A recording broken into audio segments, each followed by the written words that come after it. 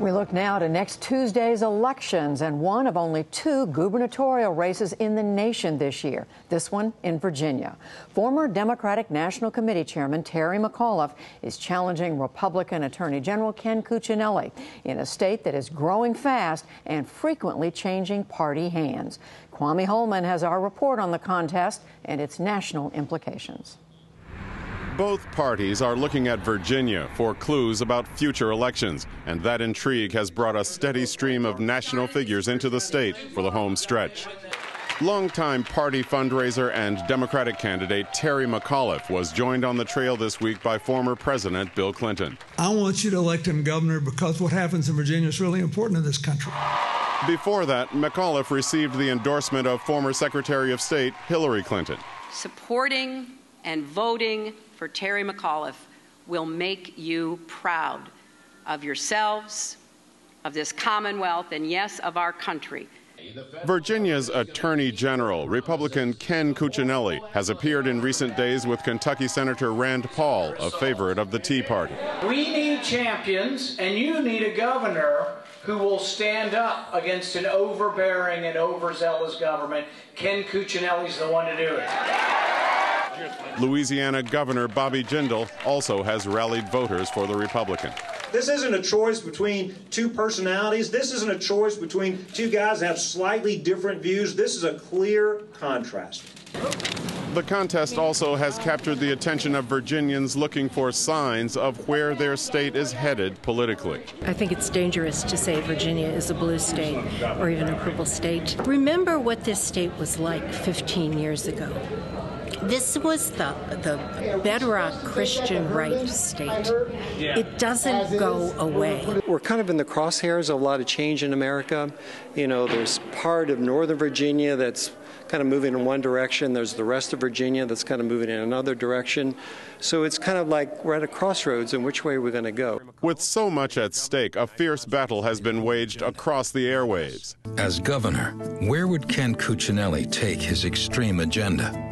Our schools. In face to face debates. Saying the words education and research, that's all great, but those are goals. Those are platitudes. They're not plans. And on the campaign trail, with the candidates pulling no punches. If you like D.C. politics, you'll love Terry McAuliffe. If you like Detroit finances, you'll love Terry McAuliffe. Ken's news campaign slogan is Fighting for Virginia. But after his event with Ted Cruz, it's pretty clear that it's just that a slogan. It was a, it was, it was a Stephen Farnsworth is a professor of political science at the University of Mary Washington. From day one, it was all about how the other side was unfit to govern. And in some ways, what's happening, I think, is that voters, at least some of them, are starting to agree with both campaigns.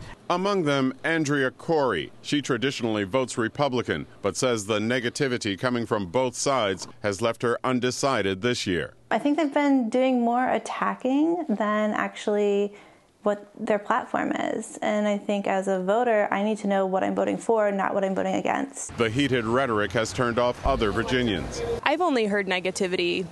I've only heard mudslinging from both sides. If I vote, I would write myself in on the ballot because I'm so disgusted with the way everything's been run so far. Heading into the final weekend, polls show McAuliffe running ahead, but with margins ranging from 2 to 11 points. A McAuliffe victory would bring an end to a 40-year trend in Virginia politics. Since 1973, the governor elected here has been from the party opposite the one that took the White House the year before. With President Obama's reelection last year, Cuccinelli is hoping that tradition continues. The GOP firebrand was elected Virginia's Attorney General by 15 points in 2009. In that role, he has challenged the Obama administration over health care and environmental regulation. And that's a theme he's continued to play up throughout the campaign. I'm kind of glad the president's coming to campaign for my opponent. Let's let's let's let there be no lack of clarity as we get to next Tuesday.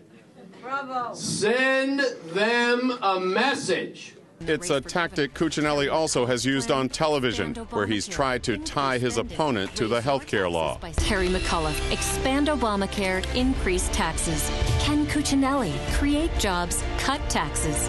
To stop Obamacare and higher taxes, there's only one choice. Unlike his rival, McAuliffe supports expanding Medicaid under the Affordable Care Act. He says accepting the federal aid would help more Virginia residents obtain coverage and benefit the state's economy. When we know that 400,000 Virginians could gain health care access by accepting the Medicaid expansion, we must act.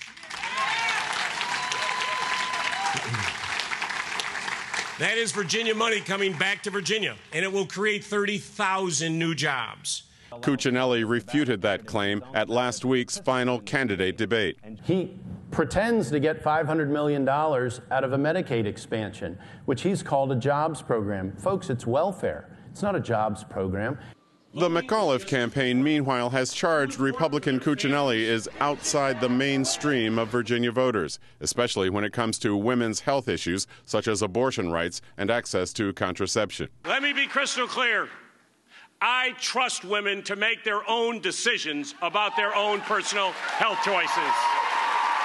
As governor, I will veto any legislation that would restrict birth control. It's a message the Democrat has underscored on television, where he has outspent Cuccinelli by more than $3 million. And Cuccinelli tried to ban common forms of birth control. Even the pill. Even the pill. Ken Cuccinelli is just way too extreme. Way too extreme. Way too extreme. Way too extreme for Virginia. The polls reflect a wide gender gap in the race, with McAuliffe leading Cuccinelli by double digits among women, while men are more evenly split.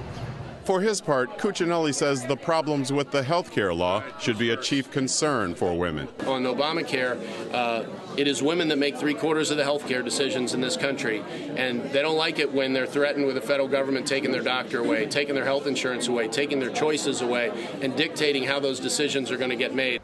The divisions between the candidates are shared by their supporters. I think Mr. Cuccinelli himself has painted himself as too conservative for Virginia. You know, these are his stated positions, if you will, and um, I believe the majority of the Commonwealth are just not in line with those views. They're making these crises out of social issues, and that's not going to help the Commonwealth. We, we need to get serious about real problems, not made up issues and problems.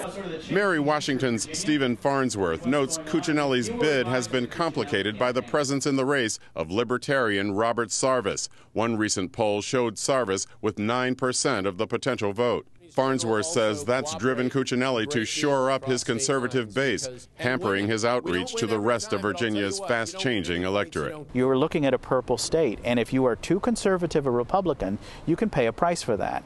And there's a belief among some Republicans even people we would a couple of years ago have called conservative Republicans, that Cuccinelli is too conservative. With both sides eager to win this battleground state, more big names are headed to the Old Dominion in the campaign's closing days. President Obama and Vice President Biden are scheduled to campaign for McAuliffe, while Wisconsin Governor Scott Walker, Florida Senator Marco Rubio, and former Texas Congressman Ron Paul will stump for Cuccinelli. Volunteers with both campaigns are doing their part to help get out the vote next Tuesday when Virginia voters will decide which direction to take their state for the next four years.